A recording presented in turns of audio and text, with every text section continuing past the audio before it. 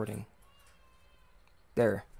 So it always helps to have a more human perspective uh, when dealing with some of these stories. Uh, in, in the Muffler Man story, uh, we actually went and talked to the shop owners to get an idea about how the policies and the rules were affecting them specifically.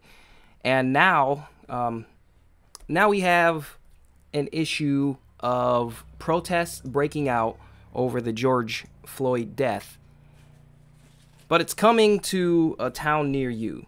Now, I don't have the art uh, uh, the the the link pulled up. Earlier, I did a video of a link, and uh, we've opted to leave it out of this video, showing that there are not just protests happening in these larger urban areas, but now they're called they're coming to smaller, more rural towns. Um, in these earlier videos, I, I guess I have to recap some of this. I disagree with this. I don't I don't know and I, I don't know if it's a good idea. I don't think it's a good idea. So let me let me start with this story because this is why it sets off uh, something of a red flag and, and and then I will talk to you about why I don't think this is a good idea. Antifa warns, this is from a few nights ago. F the city, tonight we move into residential areas before Twitter account was shut down. So this this person I'm, I'm not thinking this is the person, but there was a person who had their Twitter account shut down be, from Antifa saying that they were going to start moving into smaller, more rural areas for rioting. So what's been happening and um, you can you can see in another video I did called "This Is Deeper Than Race," is we have these rioting groups, these these bad actors, under the cover. I'm saying they're I'm use they're using this as an excuse to riot, and then you have some other people who are just generally angry. I I won't get into the motive or the heads, and this is what I don't like about these these riots, uh, uh all this chaos that's happening is when when we get into the heads of people and we say this is because of racism, this is because of anger because they're disenfranchised, this is because of they feel oppressed. Um, we can get into some some places because I don't I don't think one I, I don't like when we keep saying that these people are oppressed. I don't think Americans know what oppression is.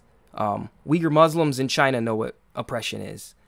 Uh, there's some stuff going on in Nigeria and in South Africa that, that you could you could point to, but in America, what what people are generally talking about is uh, they say systemic racism and systemic racist systemically racist policies that were set up long before we were born, like 40s, 50s, 60s, sometimes further back. Now, there's something to be said about American history that still doesn't affect today.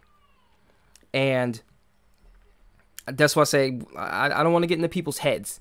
The cops were racist? I don't think so. I don't know. I know the cops were cruel. The cops were evil. It's like I talked about in this in that last video. Um, we don't need to attribute race. We don't need to attribute motive motive to anything. But what we're seeing is that racism and race is a good cover for bad actions.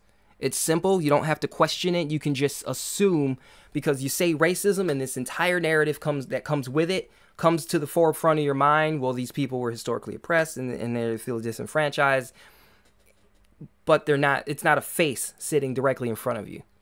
Just like when I see Twitter accounts um, of of younger people posting the riot footage and and saying "f the police, burn it all down." Like like this Antifa post that says "F America," Black Lives Matter. You cannot converge the two ideas. Now, in some instances, you can. I think the Black uh, the Black Lives Matter group started as more of a terrorist riot type deal, but we'll see where that goes. There's people that are saying no, Black Lives Matter is a, is a more organized, peaceful protesting. The thing that they have in common is that they feel that America is racist to its core there's a desire to burn it down. The media has a desire to turn the other eye. We had this. We had that uh, broadcast from CNN where they, he's saying that it's peaceful. It's peaceful, and there's literally a building on fire behind him. as they burn the city down. But I mean, yes, there there's a lot of anger here, and, and, they're swearing at us, and, and they're throwing bottles. But you know, other than that, I mean, they're not doing it in a mean way. They're hedging their bets, and they're doing everything they can to get on the good side of this riot. Then in Louisville, we see protesters, we see rioters shooting at the National Guard, and then the National Guard returning fire, and in the death of one of the rioters. So in these bigger cities, this is what's been going on, and I personally I don't want to see it come to our smaller towns. Now, Flint, Michigan had a peaceful protest. The police chief got out ahead of it, talked to the people. There was a face attached to the police force. He was an authority figure in the police force. They they disarmed themselves. They walked with them. They marched with them. They went to the leaders of the protest. They said, "What do you want? Let's let's let's come together." Uh, from what I'm hearing, and I haven't been able to confirm, similar things happen in Saginaw. What you have to understand is that Saginaw and Flint are smaller cities that don't necessarily come to mind. And the other thing that I'm certain of is that in these bigger areas like Grand Rapids, Detroit, where you're where you're seeing the violence, you have larger populations of mixed race people, mixed races of people. So you have a lot of black people, you have a lot of white people. You're gonna have more bad actors from both sides having an opportunity to come under the simple guise of racism. What does racism have to do with you stealing a TV from Target? What does racism have to do with you stuffing fifths of liquor down your pants and, and running down the street like it's, you know, like it's um, second Christmas or something? People looting and robbing stores, burning people's places to the ground. I had that video of the man that they burned up his food truck, and he was saying, "What? Why you burn my food truck down?" See, this isn't just racism, and I can't emphasize that enough. But it's not bad enough that this is happening. It's it's happening and it's spreading, and it's coming to these smaller suburban areas, these smaller rural towns. And um, I just heard a story about a journalist that had her information leaked online and rioters came to her house and set fireworks off in her front yard. And she didn't live in the big city because they're spreading. But this is this is the momentum that they've built. So here's what I am afraid of. Here's what I'm assuming. Here's what I'm predicting is going to happen. You have a town like Owosso, smaller rural area not a lot of black population. And people want to show their solidarity. I don't think that's a good idea. I definitely don't think it's necessary, but here's what I here's why. You have people with this not in my backyard mentality, not in my town mentality. And these aren't city folks. These aren't big city urban liberals. Like conservatives that live in these small rural towns want to be left alone. They they don't care what you think about them. They're going to be mean. I think this is why a lot of these conservative politicians are, are portrayed as mean because they have the mean dad persona, that, that, that vibe about them. They're putting on the mean face. They're they're willing to. We had the one the the, the early, uh, what was it earlier? You know, gated communities where they're have their rifles out and they have their shotguns out and they're standing together against these protesters. You don't want to see this come to a small town because in these bigger areas where you have a mob coming down the street, countless people, you don't know how many, and you have maybe one or two guys with guns. You don't want to see how that plays out in the town where every other person is armed. There's a lot of guns in these rural areas. They say that America can't be invaded because there's a gun behind every blade of grass. Well, those blades of grass aren't in the urban areas, they're in the rural areas. These people aren't going to be playing around. They're living off of their land, they're owning their property, they don't rent. They don't have the mindset of the of the city people. They don't have the mindset of the renter. They're going to protect what they have. They're going to protect what they perceive as a threat. And if they see a mob of people coming down the street with flames and pitchforks, they're going to start firing their guns. Be it out of fear, whether they're justified, whether or not. And and probably not. And and what's even worse is you think you see bad actors in the urban mobs because there's these these people breaking windows and and taking TVs and stuff. Well, what do you think the bad actors in the gun community is going to be like? In these isolated rural areas where the cops don't have time to get out there. It's going to be a lot worse. You start messing with these people. And so I'm not saying that the protesters are riots.